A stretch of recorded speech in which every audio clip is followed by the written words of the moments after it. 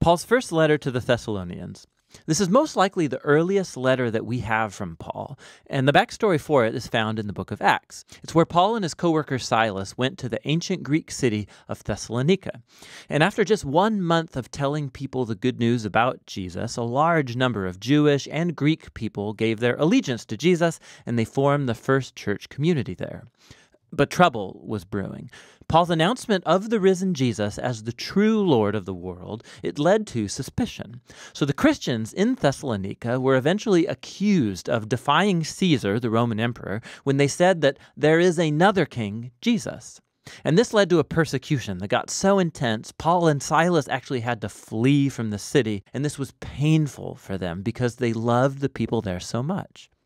And so this letter is Paul's attempt to reconnect with the Christians in Thessalonica after he got a report from Timothy that they were doing more than okay, they were flourishing despite this intense persecution. He designed the letter to have two main movements. First is a celebration of their faithfulness to Jesus, and then he challenges them to keep growing as followers of Jesus. And then these two movements are surrounded by three prayers. The letter opens with a thanksgiving prayer, the two movements are linked together by a transitional prayer, and then the whole thing is concluded with a final prayer. It's a beautiful design. Paul opens by giving thanks and celebrating the Thessalonians' faith, their love for others, and their hope in Jesus despite persecution. He goes on to retell the story of their conversion, how they used to be idolatrous polytheists, and they were living in a culture where all of life was permeated by institutions and practices that honored the Greek and Roman gods. And Paul talks about how they turned away from those idols to serve the living and true God, and that they're now waiting for the coming of God's Son from heaven. So, in a city like Thessalonica, transferring your allegiance to the Creator God of Israel and to King Jesus, this came at a cost. Isolation from your neighbors, hostility from your family. But for the Thessalonians, the overwhelming love of Jesus who died for them and the hope of his return, it made it all worth it. Paul then retells the story of his mission in Thessalonica and of the dear friendships he formed with the people. He uses really intimate metaphors here. They treated him like their child, and he became like their mother and like their father. He says, We were happy to share with you not only the good news from God, but our very selves, because we came to dearly love you. Paul reminds us here that the essence of Christian leadership is not about power and having influence. It's about healthy relationships and humble, loving service. He reminds them that he never asked for money, he simply came to love and serve them in the name of Jesus.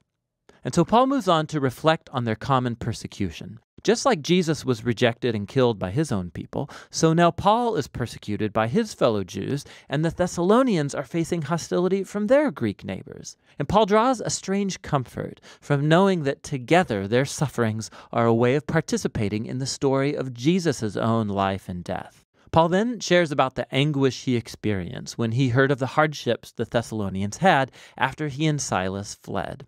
So he sent Timothy to support them and see how they were doing. And to his joy, Timothy discovered that they were going strong. They were faithful to Jesus, they were full of love for God and their neighbors, and they longed to see Paul as much as he longed to see them. And so Paul concludes with a prayer for endurance. And what's cool is that he introduces here the topics he's going to address in the letter's second half. He prays that God will grow their capacity to love, that he'll strengthen their commitment to holiness as they fix their hope on the return of King Jesus. So he opens the letter's second movement by challenging them to a life that's consistent with the teachings of Jesus. So this means, first of all, a serious commitment to holiness and sexual purity. In contrast to the promiscuous, sexually destructive culture around them, they are to follow Jesus' teaching about experiencing the beauty and the power of sex within the haven of a committed marriage covenant relationship. God takes sexual misbehavior seriously, Paul says. It dishonors and destroys people and their dignity.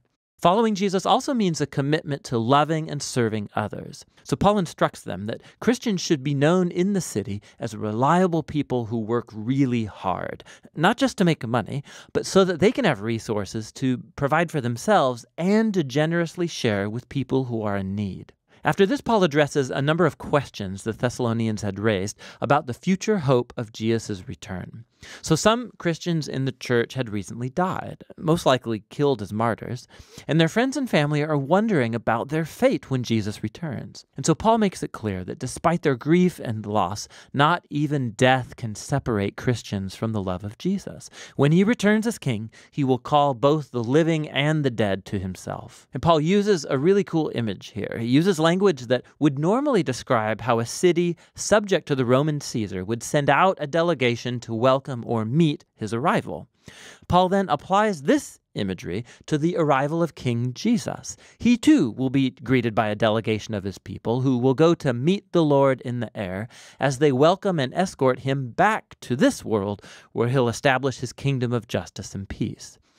Paul then wants the Thessalonians to see how this hope should motivate faithfulness to Jesus. So he pokes fun at the famous Roman propaganda that it's Caesar who brings peace and security. Of course, Rome's peace came through violence, through enslaving their enemies, and military occupation.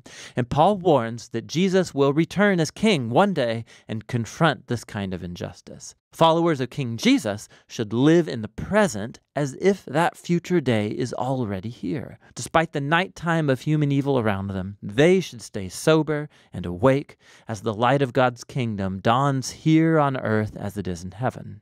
Paul closes all of these exhortations like he began with a hopeful prayer that God would permeate their lives with his holiness, that he would set them apart to be completely devoted and blameless until the return of King Jesus.